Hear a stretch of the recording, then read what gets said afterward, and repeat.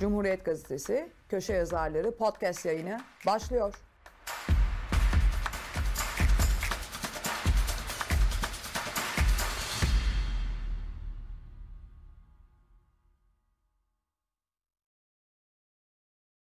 Nilay Küçük Yunan adalarına kapıda vize başladı. Bordo pasaporta sahip Türk vatandaşları için yurt dışı seyahatleri oldukça zorlaştı. Pek çok yurttaş Avrupa ülkelerinden vize alamadığından yakınıyor. Hal böyle olunca yurttaşlar tatil rotalarını vize istemeyen ülkeleri çeviriyor. Komşumuz Yunanistan da ne yazık ki Türk vatandaşlarından vize istiyor. Bu sebepten pek çok Türk turist burnumuzun dibindeki Yunan adalarına gidemiyordu.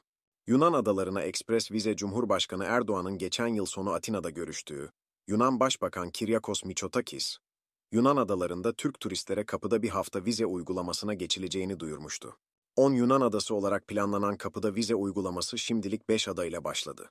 İstanköy, Midilli, Rodos, Sisam ve Sakız adalarına 30 Mart itibarıyla kapıda vize uygulaması ile giriliyor. Her bir ada için ayrı ayrı vize almanız gerekiyor. Vize ücreti ise 60 Euro. Express vize uygulanmasından faydalanmak isteyen Türk ziyaretçilerin kendilerinden istenen evrakları, başvuru formuyla Yunan yetkili birimlerine ulaştırmaları gerekiyor. Gerekli evraklar, adaya geçiş noktalarında yetkili birimlere teslim ediliyor, ancak girişlerde bekleme yaşanmaması için evrakların ziyaret öncesinde, adalar ve Türkiye arasındaki feribot seferlerini düzenleyen seyahat acentelerine teslim edilmesi tavsiye ediliyor. Yunan adalarına feribot bileti ise, gidiş dönüş 35 Euro'dan başlıyor. Fiyatlar adalara göre değişiklik gösteriyor. Diğer 5 ada İleryoz, Limni, Kelemez, Meis ve Sönbeki için uygulama ise yakın zamanda başlatılması bekleniyor. Türkiye'de otel ve restoran fiyatlarının günden güne artmasıyla beraber, Yunan adalarının Türk ziyaretçiler tarafından ilgi görmesi şaşırtıcı olmayacak. Bu ilginin ne boyutta olduğunu Ramazan bayramında göreceğiz.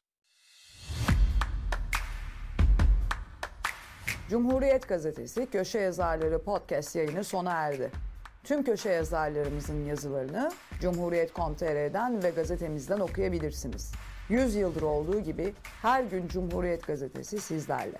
Yarın görüşmek üzere.